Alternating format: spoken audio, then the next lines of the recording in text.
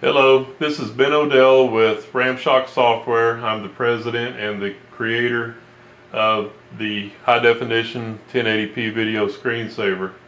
Uh, the screensaver is capable of displaying uh, nearly any kind of video file that uh, Windows Media Player 11 will display. It'll also play visualizations if you're playing an audio file. Um, just to uh, demonstrate this screensaver, it's also capable of displaying uh, the cartoons or videos or whatever it is you're watching on uh, multiple monitors. It will automatically detect up to uh, three additional connected monitors for a total of four monitors. And to demonstrate that uh, this, these other three external monitors are connected to this laptop, I'm going to pass the display properties dialog box from uh, screen to screen or monitor to monitor. And there we are. We have three external monitors connected to this laptop. Now the easiest way to get to the display properties screensaver tab uh, without having to go to the control panel is just right click on your desktop wallpaper here with your right mouse button and then click on uh, properties. In Windows uh, Vista, it'll pull up another dialog box and you click on screensaver and in, Win in Windows 7 it'll call up your wallpaper dialog and your screensaver will be listed down on the bottom right and you can click on it. But instead of saying properties it will say personalize. We're going to click on properties because we're doing this in Windows XP pulls up the display properties dialog box and we're going to click on the screensaver tab. And we've already made our selections in here by clicking on the settings button the splash screen will come up. It'll go away in five seconds or you can click on it and it'll go away. And you can choose from full screen to uh, see one two three four five smaller screen sizes. The smaller screen sizes will float around on the screen bumping off the edges. And um, you can have a gradient background that you can turn on and off and I'll demonstrate that shortly. But for the moment we're going to view the videos in full screen. We're also going to play multiple uh, video files and we have them chosen in random order instead of order of selection. And we're going to just go ahead and click OK on this and we're going to preview the screensaver. Now if you notice we have numbers. These are videos with numbers in them. And the reason I created the numbers was for testing purposes because they all run for roughly three seconds each.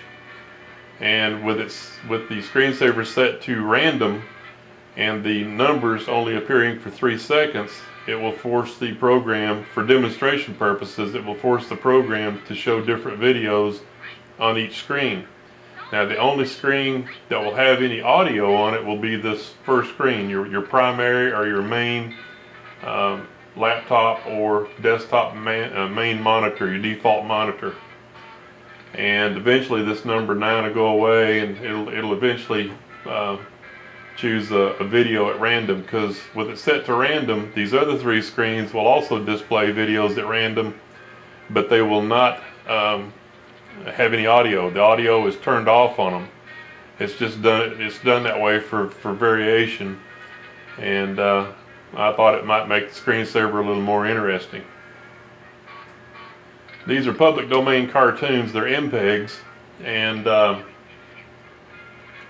MPEGs release from the screensaver much faster. High definition videos like high definition WMVs and 1080p videos, MTS, M2TS, and M2T videos they take a little while to, to release so if you're used to like I just click the mouse button and you can see that the screensaver released fairly quickly. Uh, if you're playing a high definition video sometimes it will not release quickly. It takes it takes it a few moments. And the videos will kind of appear to hang but it will eventually release. I'm gonna click on the preview button again and we see all 12s these little three second videos and they're, they're, they're numbered 1 to 15 and that's all they show is number 1 is the number 1 video 1.mpg that one's 3.mpg and they're all for roughly three seconds each. And there again, for demonstration purposes, it causes the it causes enough of a delay in the uh, screensaver queue that it uh, forces all all four monitors to play a separate video. Sometimes it'll start they'll all start on the same video and if one ends a little quicker than the other one it will move to a random video. And there we have Woody Woodpecker and Little Boy in Blue and the Dover Boys and Superman playing on all different monitors from the same computer. I'm going to trip the screensaver again and I'm going to change the settings to one of the smaller screen sizes and we're going to have it float around on the screen and we're going to turn on the uh, gradient background. I'm going to click OK and we're going to preview it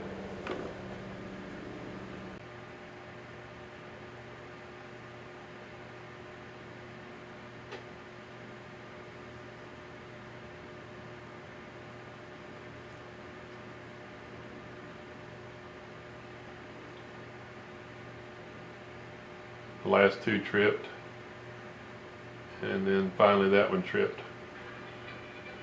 We got Mighty Mouse and then a Porky Pig cartoon a Casper cartoon and a Betty Boop cartoon playing on separate monitors. Okay now it takes a lot of processor power to run high definition videos. MPEGs are a little easier to play it doesn't take quite as much power. Um, there will be a little hesitation depending on the power of your processor. This uh, this computer is a little Acer laptop, and I bought it back in 2007 October, and uh, it's a Core 2 Duo. It does a pretty good job.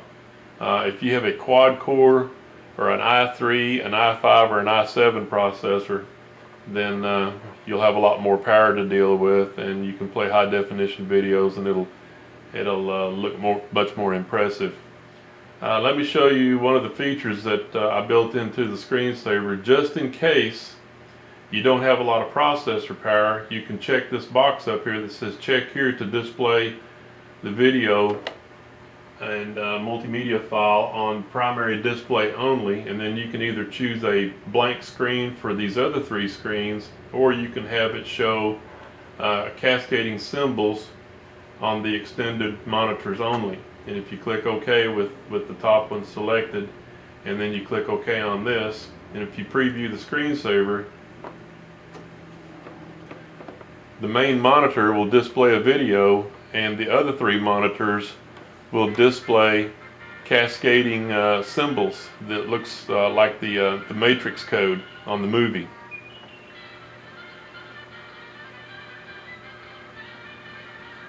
And I'm going to trip the screensaver. They all trip out pretty quick. I'm going to go back to uh, full screen and I'm um, going to watch preview the screensaver again. There it starts out with the number 4 like I said, I just put those videos in there just so that it would mix it up and cause the other screens to trip a little faster and actually display a random video.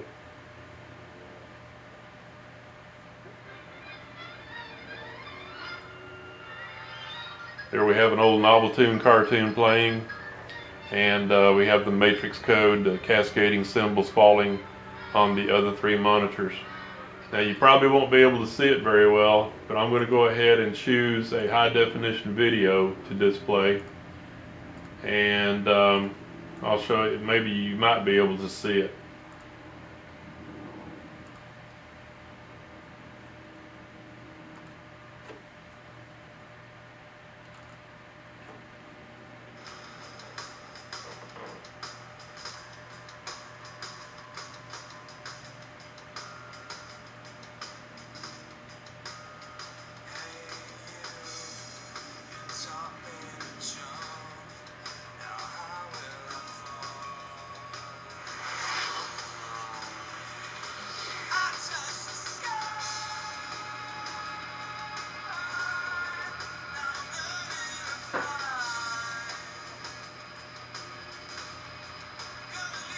Okay, now that we've watched this one for a few seconds, I'm going to trip out the screensaver, and if you'll notice, it's going to kind of hesitate because it's dumping that high definition video from memory. It takes a little longer to trip out. I'm going to change the settings back over to show that video on all of the screens, and you'll see some of the hesitation in screen 2, 3, and 4 that, that I was telling you about because it takes quite a bit of processor power to, uh, to render to the screen a high definition video. See, it's a little choppy. It's a, it's a lot of work for this little Core 2 Duo, but it'll play it. You might not be able to see it very well, but it is kind of hesitating a little bit on uh, basically all the monitors.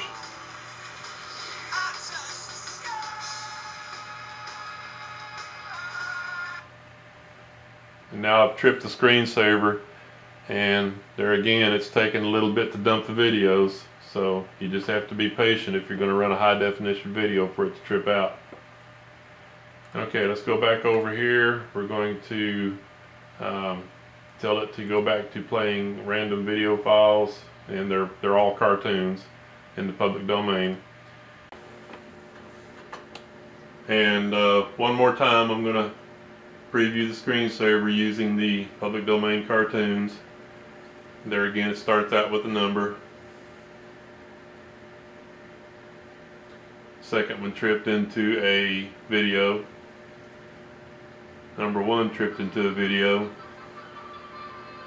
Number three tripped into a video.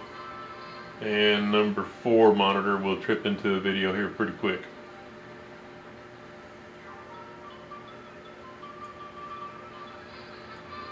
There we go. Now on the tail end of this video, shot from the, the camcorder, I'm going to do some screenshots and dub them into the end of it that show the basic operation of the different screens and it'll be up close and you'll be able to see it because I'm going to be using a screen capture video creation utility that'll make it much easier to see what I was doing. So stay tuned and uh, we'll get started on that here in just a little bit, okay?